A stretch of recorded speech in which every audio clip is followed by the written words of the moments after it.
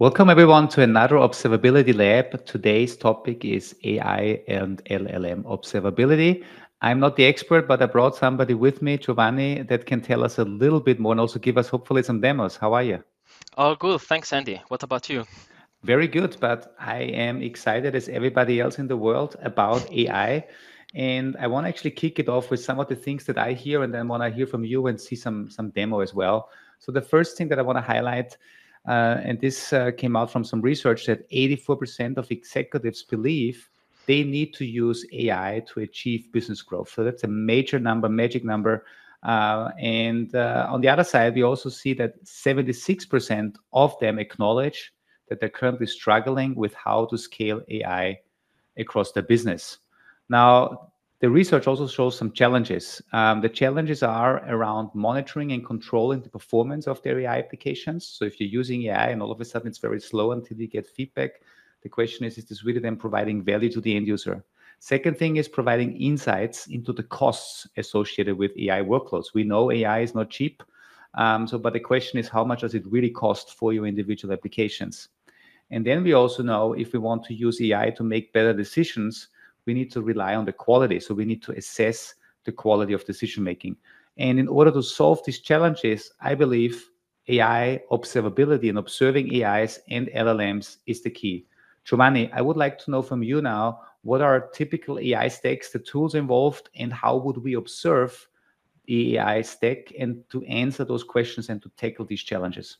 Yeah, sure. You can see from this slide that we have a lot of logos because a standard application that uses AI workloads can use multiple of these or not even all of these.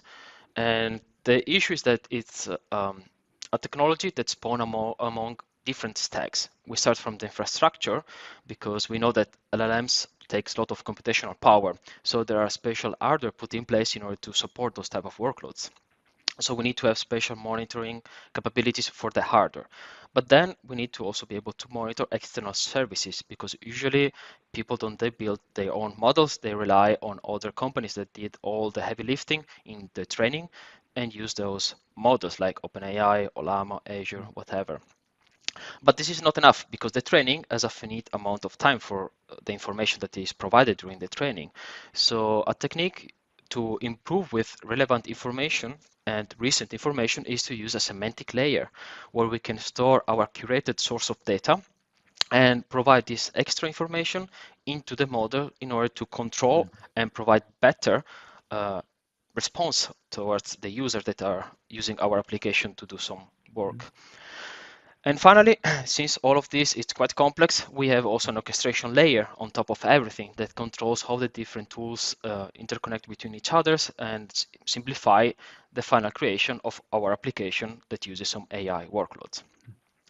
And for today, among all of these logos, I created a small demo that uses LangChain to create a RAG pipeline, a retrieve augmented generative pipeline that uses Pinecone and Ollama to generate some travel information advi or advices towards the user. And everything is running on Kubernetes. If you look at our uh, architecture a bit more in details, uh, we can see that user will hit a browser with uh, a website that can provide users with travel recommendation about the next uh, city they want to visit. This is nothing else than hitting an API behind the scene that triggers our RAG pipeline that we've written in that we wrote in LangChain. Mm. This pipeline contacts Ollama in order to understand the what the user input is about, what city we are trying to visit. And we use this information then to contact Pinecone and perform a semantic search. So we look for extra information around the topic in order to augment the model to mm. generate a more precise uh, control more what the output of the request or the uh, request should look like. Mm-hmm. And we fed all of this information again back to Ollama in order to create a nice English message that can be uh, given back this recommendation about the next things to visit in the city to the user. Everything runs on Kubernetes and it's monitored via OpenTelemetry. In particular, we are using uh, auto instrumentation through Traceloop. You can see uh, the code base and do the example by yourself following the link or the QR code here. Very cool. Yeah, let's go but, into the demo. That's really exactly. exciting. Yeah. So we are already looking in Boston, but I want to have a different city from you now, Andy. What would you like to visit? Uh, I would love to visit Barcelona. So I think you have a lot of things to do in Barcelona, but the bot takes quite a while. Yeah. And that's on purpose because we like to see more information about why it takes so long to provide a back uh, response to the user. You can see that the AI says that Barcelona is a city in Spain with astonishing architecture, nice culture, beautiful beaches. So you have a lot of things to do there. Cool. I'm looking forward to my next trip there. but uh, now we also saw that uh, this request take quite a while before you know providing some uh, information back to the user. And for this, we can drill into the tracing pieces through Dynatrace to understand why this request took so long. So we might want to refresh the UI to try to find and hit the Barcelona request. Hopefully this looks good. uh, this request took around seven seconds. And we can see if we zoom into the different step, gosh, the magic of the demo. Mm. Now, there we go. Yeah, perfect. Now we have Ollama we can see we uh, trigger two services. The Travel Advisor, our application that provide uh, this nice UI, and Ollama that does the heavy lifting of generating uh, answer to the user. And RAG pipelines can be very complex, so you don't know what's happening behind the scene. And thanks through tracing, we can see every single step of our pipeline and how much time is spent in each step of the pipeline. We can see that the first part of the pipeline is quite fast, only less than a second. And this is contacting Ollama in order to understand what the user is asking for, and then reaching out to Pinecone, our search semantic engine, to retrieve information relevant to that uh, input. And after that, the major uh, quantity of the time is really contacting Ollama again in order to produce a response for it. And through the um, observability pieces, we can follow all the different attributes that each trace has. So we can also see what was the input, the output, and we can then create dashboards or alerting around these uh, informations. Mm-hmm. Hey, Giovanni, just quickly to recap, because maybe not everybody has seen distributed traces. What you're showing here is everything that happened when you hit the enter button in Barcelona, and then what the application did in the back to reach out to all these different tools. First, understand we wanted to look for Barcelona, then reaching out to getting more data, and then formatting the final result again. And we can see here that the majority of the time, it seems like 10, 11, something 10.63 seconds are spent in contacting then Ollama to generate that final result. Uh, exactly. You can see that the networking layer, so contacting and processing the network packets mm-hmm. is quite fast. All the remaining time is spent really on processing. Mm-hmm. You can see all the CPU time 21 is uh, is on that. I mm. cannot really zoom in. Ah, yeah. Here it is. Yeah, but basically, you I think you're running on a on a small Kubernetes cluster, so you're not using any GPUs for the demo. Exactly. It could be something to improve. Obviously, you can dive deeper, but yeah. Exactly. We can also then uh, run some tests and see. Okay, now we spawn an instance with a GPU, which is more expensive, but what's the return of this investment? We can see mm-hmm. now the response time from 10 seconds maybe goes down to just one second. Then we can justify the extra price for it, mm-hmm. and that's the cool uh, things that we can do through tra- tracing. Mm-hmm.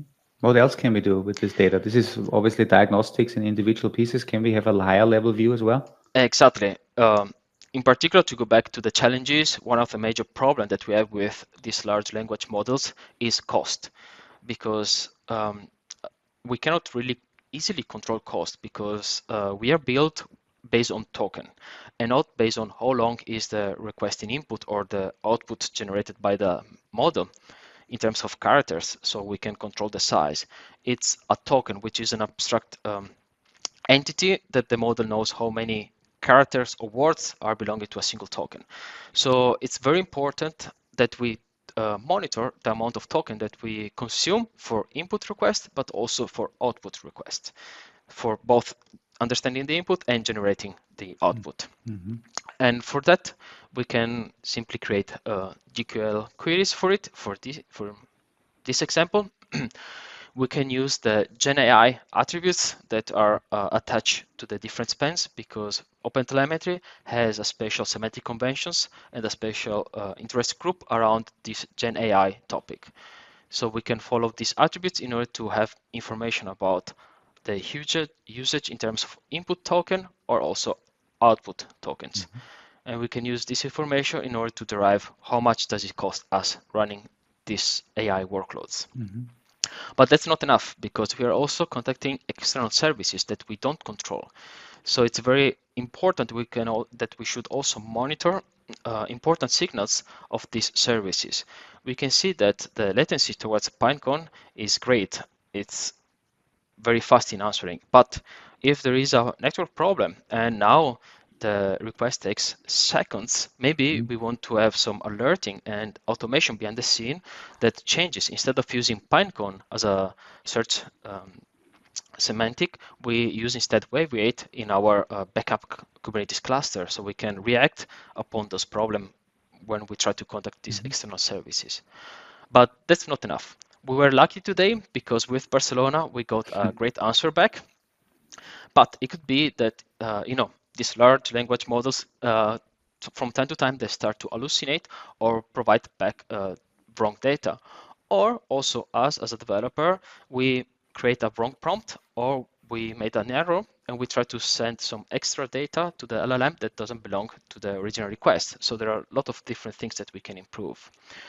Let's try to find if we can find your Barcelona input. Here we can see that we just request Barcelona but the prompt sent to the LLM is way bigger than that because this RAG pipeline uh, tries to find relevant information from uh, Pinecone and attach it to the request in order to provide extra information to Ollama in order to generate the output. And here we can already see that uh, we say London, but here the information are about Sydney. Hmm. So something is off. Maybe we are we have done some errors when encoding this uh, lookup into Pinecone. so it's very important that input and output prompt are monitored and evaluated because we can find way more um, points of optimization also here.